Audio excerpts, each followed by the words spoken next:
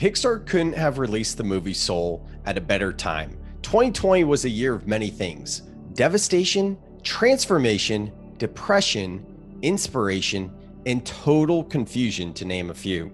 With respect to the devastation of 2020, there were some bright spots, the main of which is the Great Pause. Humanity has been in a phase of the out of balance masculine for hundreds of years. 2020 gave us the opportunity to slow down and look within, which many have done. Pixar's latest hit film, Soul, is all about pausing, being in the moment, and soul seeking, of course. The release date, Christmas Day of 2020. Literally, this movie couldn't have been released on a more timely day. Christmas is always a time of slowing down a bit to be with family. With the lockdowns and social distancing of 2020, more families would have been more likely to be at their homes without extended family and friends Christmas weekend. And with the buzz of social media and Disney's prevalence in our culture, Soul would be the likely movie to watch Christmas weekend with the family. So let's go ahead and talk about the movie, which, by the way, spoiler alert, go ahead and come back later if you haven't seen the movie. So let's get on with it. Joe Gardner, the main character, is a music teacher who hasn't quite hit his big break quite yet. In the opening scene, we see Joe leading a classroom of students in band. Well, a dysfunctional class, really. You can see the frustration in Joe's face as the music is off key, amidst kids looking bored and overall just not interested. The classic childhood memories of tossing paper airplanes through the room, mixed in with another student nearly sleeping and another on his phone instead of being present with his instrument. This is until one of the students, Connie, finds herself in the zone and flows into her own tune. Joe's face changes to awe and wonder until the classroom starts laughing at Connie, the student. This interaction demonstrates a couple things. First, a major foreshadowing about the intention behind the movie being in the zone and finding your spark, just as Connie did when she got lost in the music but we'll explore that more soon. The second thing this illustrates is the toxic behavior of our society. Later in the film, we see Connie come to Joe exclaiming she's going to quit music altogether. This is a commentary on how our judgmental nature can create stories in others' minds which lead to suffering. Anyway, let's get back to the scene. After Connie gets lost in the music, Joe calms down the classroom by explaining getting lost in the music is a good thing. From there, we see a memory of Joe and his youth with his dad at a jazz club. This gives us a glimpse into just how long Joe has been fueled by music and his connection to jazz specifically. In fact, we even get a key insight into a major theme of the movie as Joe finishes by saying, That's when I knew I was born to play.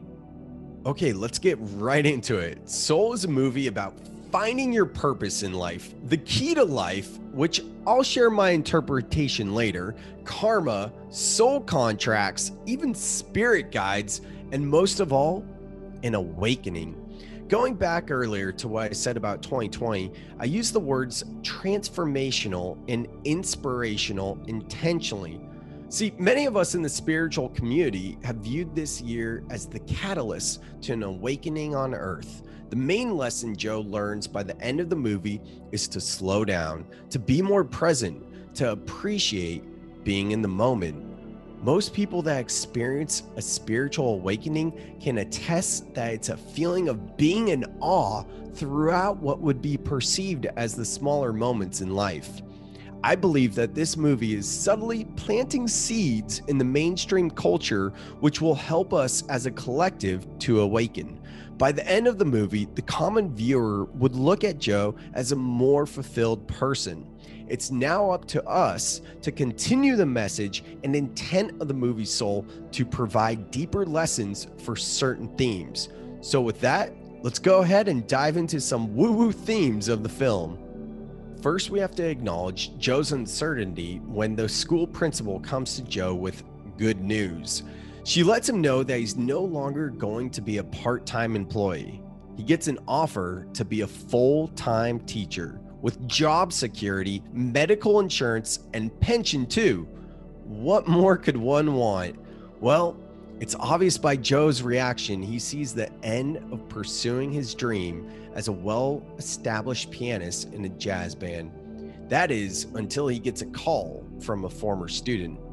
Now, I'm a big fan of the hero's journey concept by Joseph Campbell, which, by the way, huge shout out to my Fit for Service fam through Aubrey Marcus's fellowship, in which we've gone through our own rites of passages with. But anyway, Joe gets the call, which is literally the second stage in Joseph Campbell's well known hero's journey story architecture. The hero must first get the call to adventure in this 12 step journey. Joe's former student Curley calls him with the opportunity of a lifetime. He invites Joe to perform with Dorothea Williams, who we can infer must be a well known jazz musician. Now, Joe must decide should he listen to his daemon and pursue his dream, or listen to his mother and play it safe by staying steadfast with his brand new full time position at school? Which, by the way, let's talk about the daemon philosophy for a second. Thanks to my brother Erick Godsey, I've learned that the daemon is a whispering from your higher self. In other words, a whisper from your soul, a deep yearning for something more almost as if it's to follow your destiny in your lifetime. Joe hears his daemon calling for him to pursue the opportunity to perform with Dorothea Williams and chooses to answer the call to adventure. Now, before we go on, this whole philosophy of the hero's journey is something that I want to address. Yes, pretty much all movies use the hero's journey model. However, after personally spending a year in the Fit for Service Fellowship, where we themed each month of the year based on the hero's journey, I can tell you without a shadow of a doubt how impactful and more fulfilled you'll be in your life if you choose to be the hero of your own story. Said another way, when things go wrong in life, or not as you would have liked at least, instead of saying, Why is this happening to me? say, Why is this happening for me? For more on the hero's journey, check out the notes in the description of this video to see Erick Godsey's journaling course, which will crack you wide open and have you motivated to pursue your dreams. Well, back to the movie. After Joe answers the call to be the pianist in Dorothea Williams' band, we see him at the audition where he initially stumbles, but Joe quickly gathers himself and finds himself in the zone. Now, this scene is truly the first moment in the movie where it gives us goosebumps and some spiritual insights to set the stage for what's to come.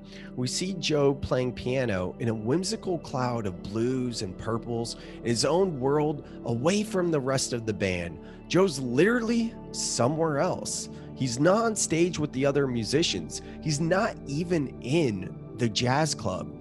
He's floating in what the writers of the movie refer to as the zone. This is actually a huge theme in spirituality. It's the belief that while we are in our bodies living out a human experience, we are actually, in fact, multidimensional spirits simply having a human experience. In other words, Joe's higher self, remember from earlier, higher self basically means your soul is now in another dimension Confusing, right? I know.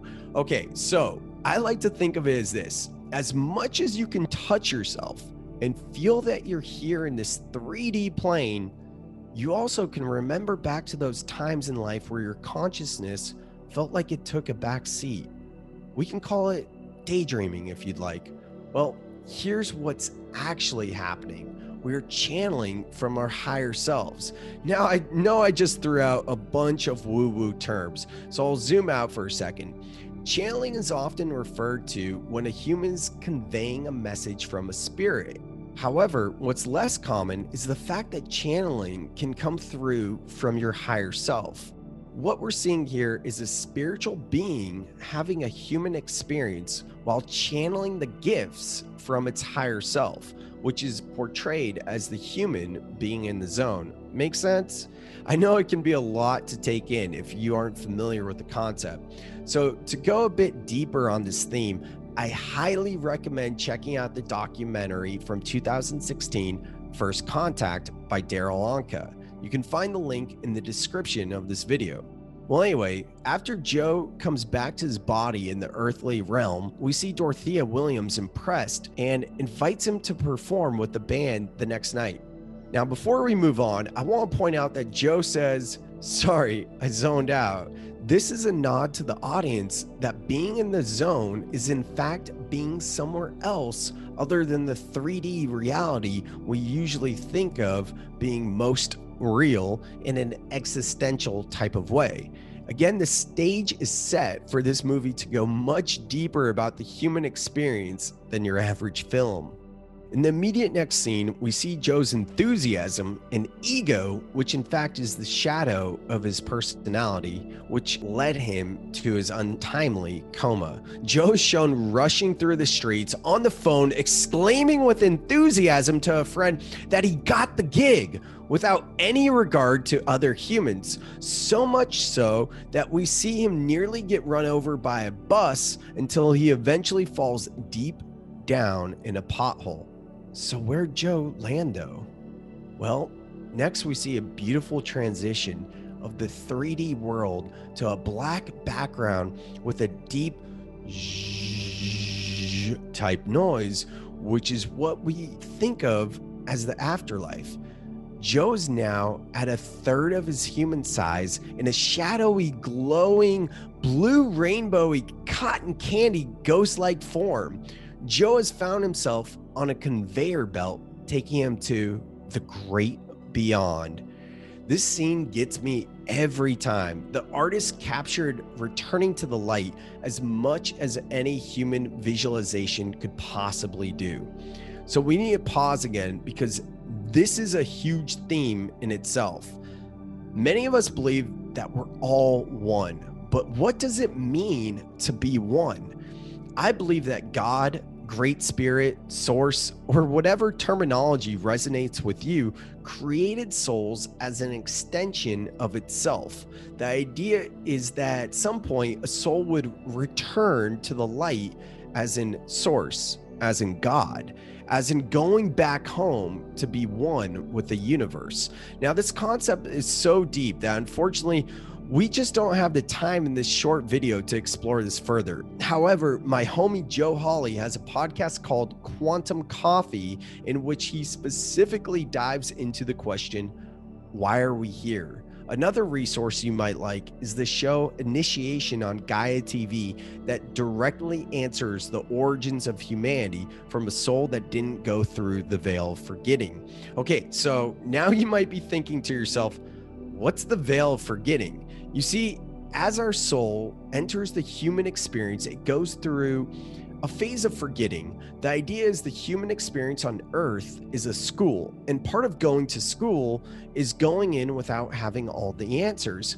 Thus, a veil of forgetting is now necessary for us to learn the lessons in our human experience that our soul desired. Now, after this short rabbit hole to explore the greater universe at play, it's time to get back to the movie Soul. After Joe realizes he may be dead, he chooses to not accept his death and jumps off the conveyor belt and into space. Now, this next scene this one's epic. And trust me, I only use the word epic when something is truly epic. When Joe jumps off the conveyor belt, we see him travel through dimensions. The human experience is in the third dimension. It's literally called 3D. There are multiple dimensions of reality. And when Joe takes this leap, we see him traveling through time and space where he lands in the great before. So, the great before is a mystical dimension of creation. It's here we meet the Jerrys. Jerry is literally explained in the film as the coming together of all quantized fields of the universe, appearing in a feeble form your human brain can comprehend. Um, what? Basically, the writers are reminding us that as humans, we are not the center of the universe and that our brains cannot actually comprehend the dimensions of the entire universe. This is a pretty powerful moment in the film for us folks that live, sleep, and breathe spirituality, much as I do. Anyway, one of my favorite themes of The Great Before is the introduction to human design, astrology, soul contracts, spirit guides, and in a sense, referencing that we choose our human experience everything from our personality traits to our passions and whom we'll be working with to play out our karma in the human form. Okay, so the film doesn't dive into any of these themes specifically for an extended period of time. The writers leave it to our imagination, but no worries, I'm here to explain some of this for you. So, first off, I do have to say, this is a bit differently than the writer's take. The movie Soul does not actually indicate that they believe a soul would choose their personality traits as shown when the Jerrys are assigning personality traits. However, I'm a believer that we choose our personality traits. Rather than our emotions being a result of astrology, I see it as the soul entering the earthly realm at the moment in time to which astrology will act as an aid in the soul achieving its mission in the human form. Astrology is common in our culture. What's not as common is human design. Human design is a new age concept that explains how you can best live out your human experience with the conditions in which your soul incarnate. For more on human design, I highly recommend checking out my buddy Jordan Rami's content. You can hear him explain human design on my podcast Soul Seekr, which is linked in the notes of this video. Next, let's talk about soul contracts. Unfortunately, I didn't see any trace of the film Soul referencing soul contracts, but I'm a big believer in the concept of soul contracts in explaining and giving meaning to our relationships with others. So, since we're talking about the great before, now's the time to explain this concept. Before I go any further, I really want to stress the importance of checking out Caroline Myss's book, Sacred Contracts. I recommend listening to the book on Audible because she reads it and she's an extremely engaging speaker. In the book, Caroline describes the concept of soul contracts as our souls having a meeting with other light beings to discuss the lessons we want to learn in our next incarnation. We literally choose other souls to incarnate to help us progress in our life. Soul contracts is the belief of choosing our traits and our karma to work through with other souls. Now, finally, I'd like to talk about spirit guides. The movie Soul introduces Joe as a mentor in the great before. As a mentor, he meets another soul named 22. Joe's role as the mentor, rather spiritual guide, is to literally guide 22 in its human experience. Personally, I grew up knowing absolutely nothing about spirit guides. In fact, I only first heard about spirit guides in 2019 when I found myself in a sacred ceremony to drink ayahuasca. In the spring of 2019, I heard my daemon yearning for more than just achieving goals and dealing with recurring depression on and off for many years. That's why I made the decision to heal with the plant medicine that is ayahuasca. My healing from this experience catapulted me on a search to learn more about the human origin story. And during this exploration is when I found out about spirit guides. Unfortunately, so many of us just didn't grow up with spiritual teachings. So, in case you're not familiar with spirit guides, the main concept is that we have guides on the other side that are always watching out for our best interest. With intentional prayer, we can call on our guides to help steer us in the right direction. The time 1111 is widely known as an angel number. In fact, there are many other angel numbers, most of which are repeating numbers. When you see these numbers, it's often a good sign. It's a sign that your angels, rather, your guides, are with you. In the case of the movie Soul, the mentors in the great before are actually spirit guides for the souls getting ready to enter Earth. Joe's first assignment is to help 22 find its spark. As described in the movie Soul, your spark is your biggest passion in life, a reason for living, if you will. But before Joe's opportunity to guide 22 in finding its spark, he's faced with a life review, another concept you can learn about in Caroline Myss's book, Sacred Contracts. During the life review, a soul sees their life from a broader perspective to, well, review their life. Unfortunately for Joe, after seeing his life review in his human state in a coma, he despairingly says, My life was meaningless.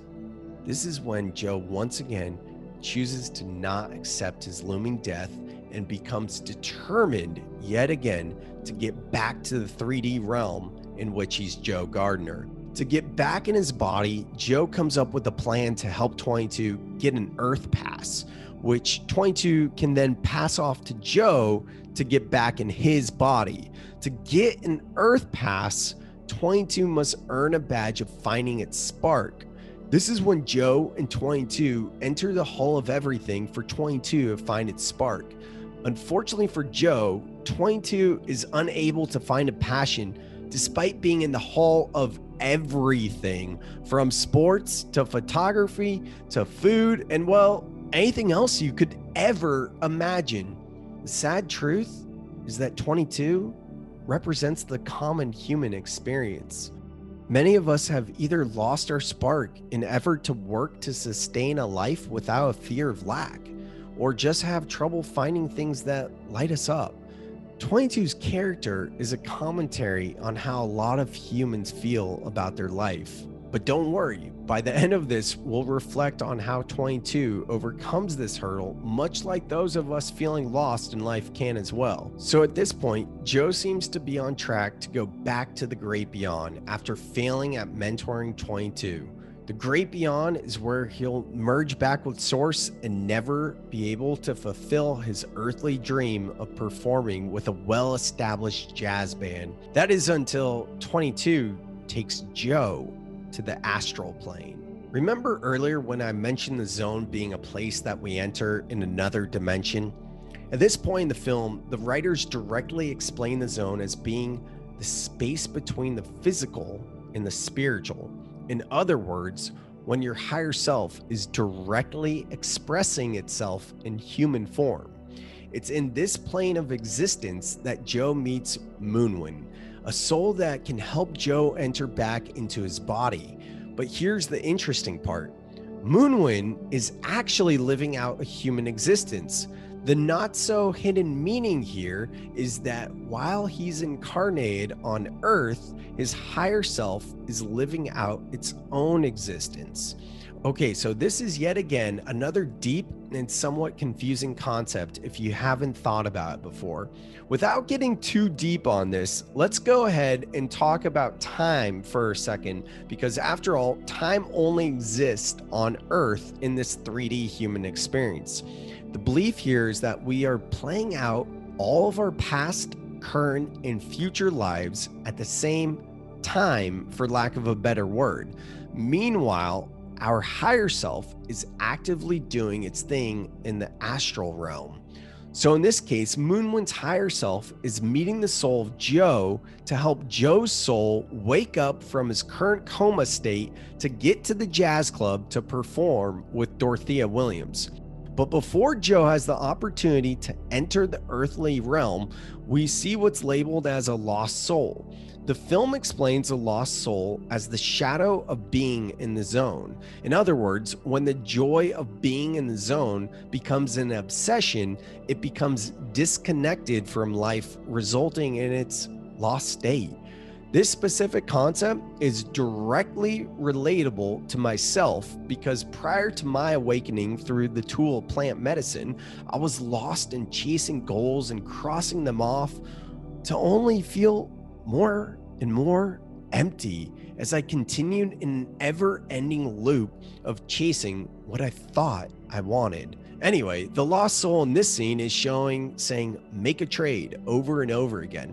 We're shown that its human self is lost in its human experience to suffering from living to work rather than working to live. Moonwind and his team uses the power of vibration through music to literally awaken the soul. And the next thing we see is the human version of the soul ecstatic when it awakens. In fact, so enthused that he destroys the office. This is a subtle reference to the importance of integration. Many people in the world right now are waking up. But waking up is oftentimes an experience that needs time to integrate. If you feel like you're going through a sort of awakening, I highly recommend chatting with my friends Celeste McQueen, Sarah Howitt, and Kyle Dow. You can find their website with more info in the notes of this video. Now let's go ahead and climb back up from the rabbit hole of awakening. As Joe is attempting to enter his body, he's instructed to breathe into his crown chakra, which is a clear reference to getting into a meditative state. Once again, we're shown the significance of vibration through music and how it can aid to elevate states of being. Through Joe's meditation, he's able to find himself on Earth in a hospital. A portal opens up, and this is when it's time. It's time for Joe to enter back into his body, but something goes wrong. Joe shows his lack of patience and jumps into the portal, accidentally bringing 22 with him. This is foreshadowing the purpose of the movie and the key to life, as I call it, which I promise we'll get to. So, much to Joe's chagrin, to say it gently, he enters the body of a cat while 22 enters Joe's body. Now, Joe and 22 are forced to work together to adjust to their earthly 3D and extremely dense bodies. When 22 and Joe are shown exiting the hospital, we see Joe's body, whose soul is 22, now cringe at the noise of traffic. As a viewer, we are now given the opportunity to view our lives from a different perspective. Fast paced, loud, and somewhat, if not a lot of it, chaotic. 22 understandably experiences a panic attack to which Joe, as the cat, is able to calm 22 down by giving her some pizza. We're shown the power of what's known as grounding. Grounding is anything that can bring us back to our bodies, and in this case, 22 is brought back through nourishment. Even more interesting is the emotions and feelings associated with the bite of pizza. We're shown 22's higher self jumping in circles of joy from experiencing the cheesy pepperoni and marinara infused deliciousness that is pizza. Next, we see Joe and 22 finding Moonwind's human self and them devising a plan to switch their souls into the correct body. Here we are given another glimpse into astrological events. Moonwind describes an exact time to meet based on when certain planets will align that will result in a thinning of the veil. This is a ton of jargon, I know. Think back to the veil forgetting we mentioned earlier. This veil is what separates the 3D realm from the higher dimensions. It is believed that when the veil thins, we are able to connect with spirits and more mystical elements of the universe. For more on this concept, check out Chani Nicholas, who wrote a book called You Were Born for This. Not long after this, we see Joe in 22 as apartment, which is when Connie, Joe's student, comes back in the movie. Like I mentioned earlier, this is when Connie comes to Joe to exclaim she's going to quit music for good. 22, as Joe, connects with Connie over a serious and unacknowledged fact by most of the mainstream. Connie says school is a waste of time. And that triggers, in the positive meaning of triggering, of course, 22 connecting with Connie. 22 quotes George Orwell, who famously wrote the book 1984 by saying, The ruling class's core curriculum stifles dissent, which basically means that the education system is designed to keep the masses slaves to the system to give us just enough to not ask questions. I have recently coined the term soul life balance. You see, I believe that the concept of work life balance was part of our brainwashing to help the masses accept that we spend a large portion of our life working rather than living. In fact, most of our life is spent working. Work life balance helps us look forward to something We've become proud to exclaim, We're weekend warriors. We accept our working days with the promise of living out a relaxing vacation, and we contribute money to our retirement savings so that when we are old, we can finally be free of working. How does any of this make any sense? I propose that the new model could be soul life balance, in which we look at work as a component of life and dedicate more practices to feed our souls on a daily basis to help connect us with our higher self. So we're living and speaking our truth while pursuing our dreams. Okay, rant over. Let's get back to the movie. This clip was just a quick snippet, but it deserves more attention. If this resonates with you at all, please check out my podcast, Soul Seekr, which is linked in the description of this video and can be found on any of your favorite podcast platforms. Okay, let's move on. So 22 witnesses Connie in the zone while playing her trombone. This is the first glimpse of when we see any sort of inspiration come through from Soul 22. 22 starts to obsess over how Connie could go from feeling overwhelmed and anxious by wanting to quit to experiencing love through expressing her higher self with an instrument. And that's when 22 decides to find her spark on Earth. After a haircut gone wrong, the two find themselves in a barber shop, and it's this scene that explores some existential questions around the human experience. 22 tells her stories of meeting mentors after mentor without finding her spark, and she gets to the point of asking, Is all this living really worth dying for? This sentence in itself directly relates to the human fear of death, which, by the way, I can directly speak to the feeling of no longer fearing death after an awakening experience with something similar to plant medicine. For more on that, check out my podcast, Soul Seekr. Anyway, after 22 asks this question, she hears from the barber's explanation of his life, and that's when 22 starts to piece the puzzle pieces together. It's about experiencing. We're going to move on. More on experiences soon. So after the barbershop, 22 is a whole new being. We see her as Joe walking through the street, being present with life. This is a vast contradiction between her way of living and Joe's.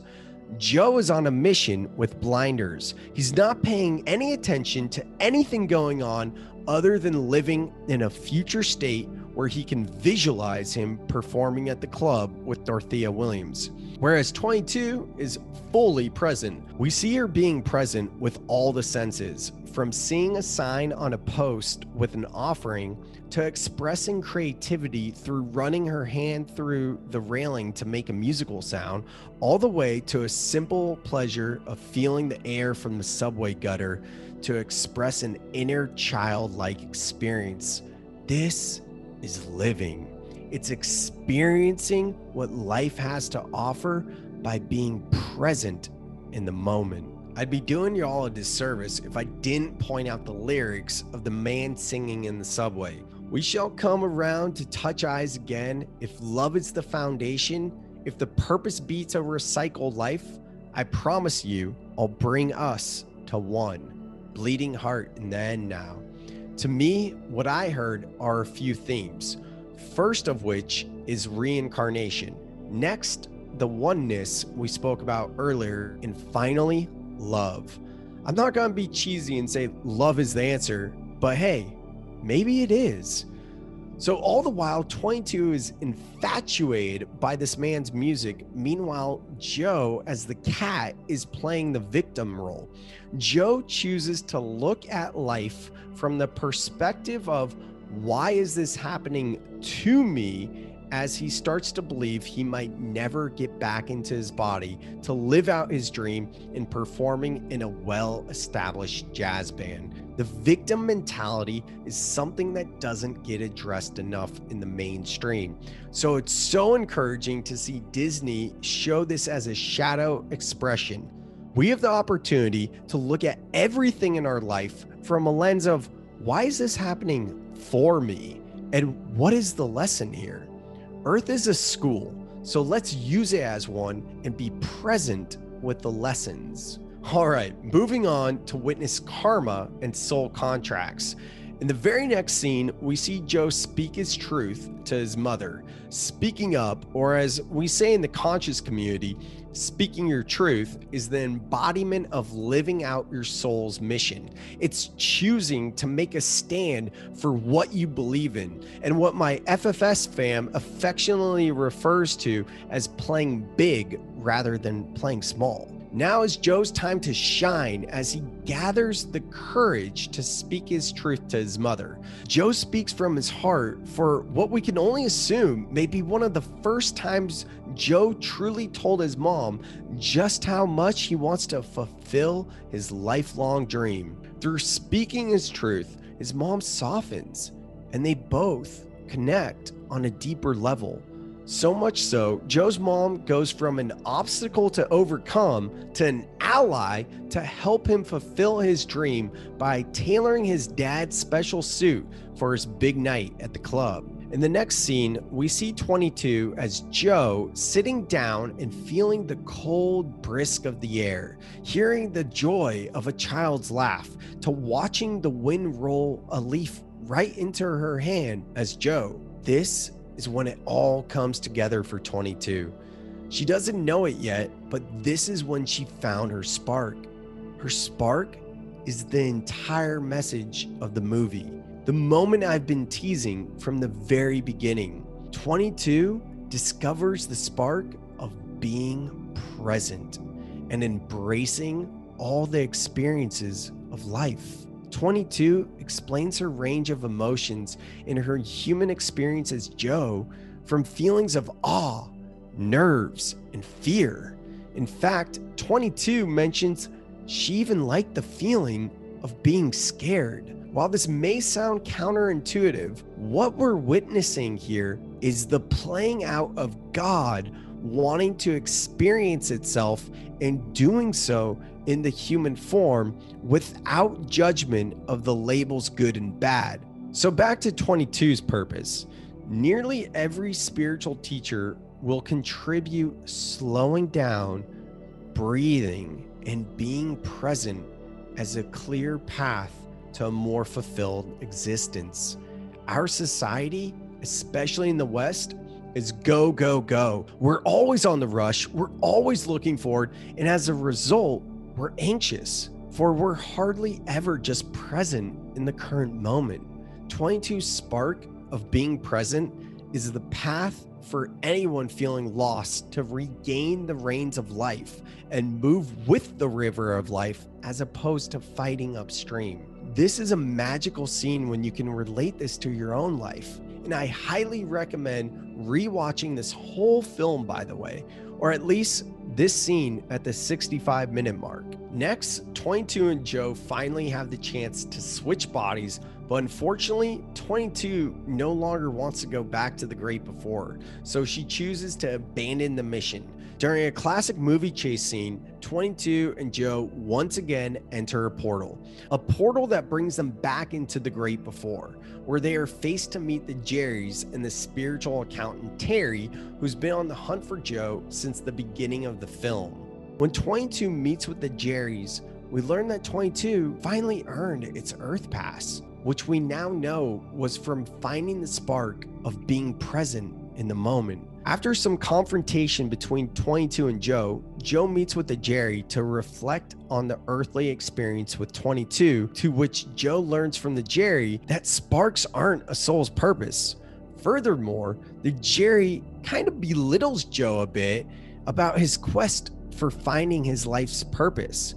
This is a nod to the existential meaning of the universe and the rabbit hole to explore multi-dimensional existences. Seriously, if this interests you, check out Initiation on Gaia TV or Dr. Joe Dispenza's work through his book Becoming Supernatural and the show Rewired on Gaia. Anyway, back to the movie. Joe refuses to accept what the Jerry says and he heads back down to Earth with 22's Earth Pass back into his body, where he rushes once again to the jazz club to once and for all live out his dream, or rather, what he considers his purpose. Joe makes it to the club and wins back his role to play with the band. The experience is literally a dream come true. Joe enters the zone and improvs with Dorothea between his piano and her saxophone like a match made in heaven, almost as if it was a soul contract playing out in the human form. Hmm. I guess that'll give you something to consider later on. So, anyways, the concert ends and Dorothea and Joe debrief for a quick second outside of the club before they head home. As they do, Dorothea exclaims that you get a hundred shows and one of them is killer. You don't get many quite like that. To which Joe awkwardly asks, What's next? To which he's disappointed when Dorothea simply says that they'll come back tomorrow and do it all again. Here's a point in the film that struck me to my core.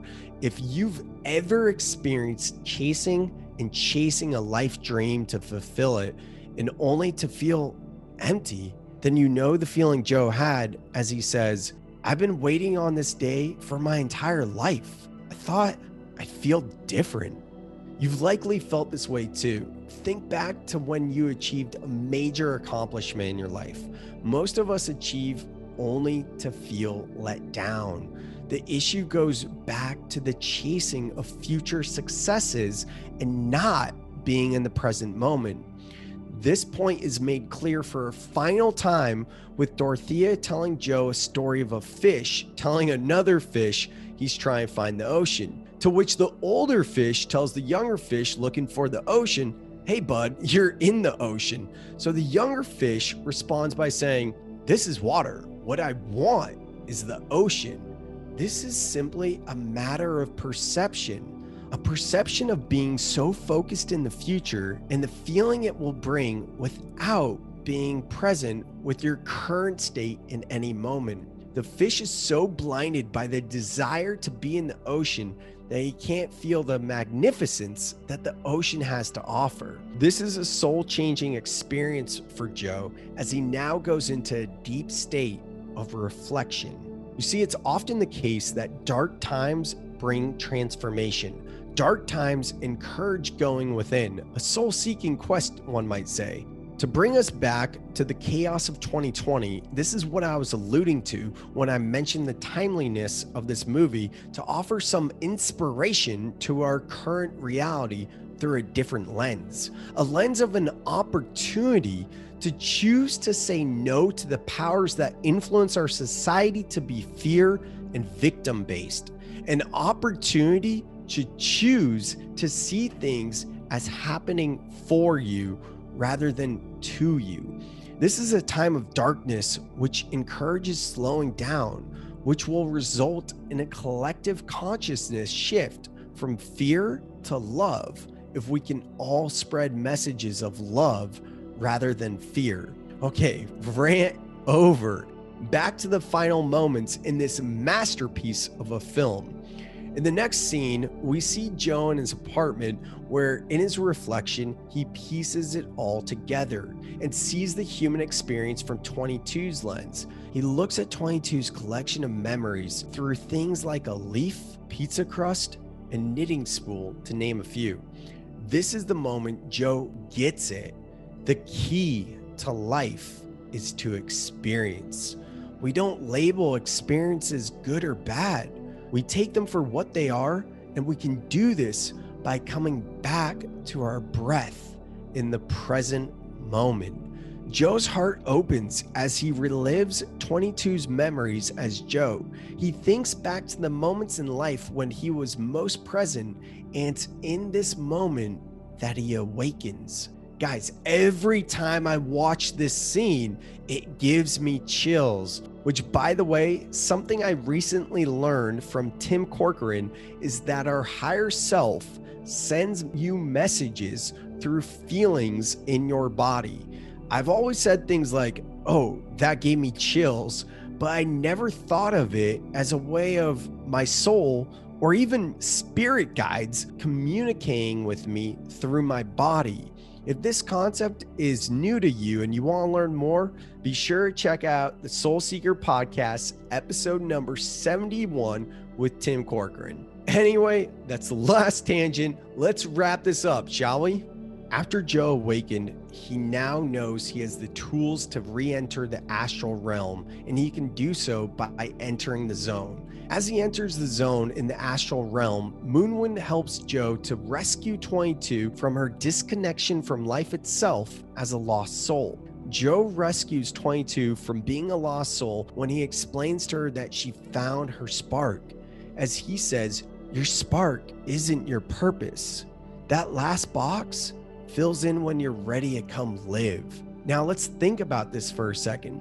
This entire movie has Joe chasing his purpose, right? If this entire time Joe was chasing a purpose, yet a purpose isn't tied to life, then how did Joe get an Earth Pass to begin with? Wouldn't Joe have had to been in the great before knowing this well? You see, my friends, this brings us full circle on the theme of going into existence as a human through the veil of forgetting. As I mentioned earlier, before we entered this earthly realm into this current incarnation, we come through a portal to earth without the knowledge of existential existence that our higher self might just already embody. Pretty deep, right?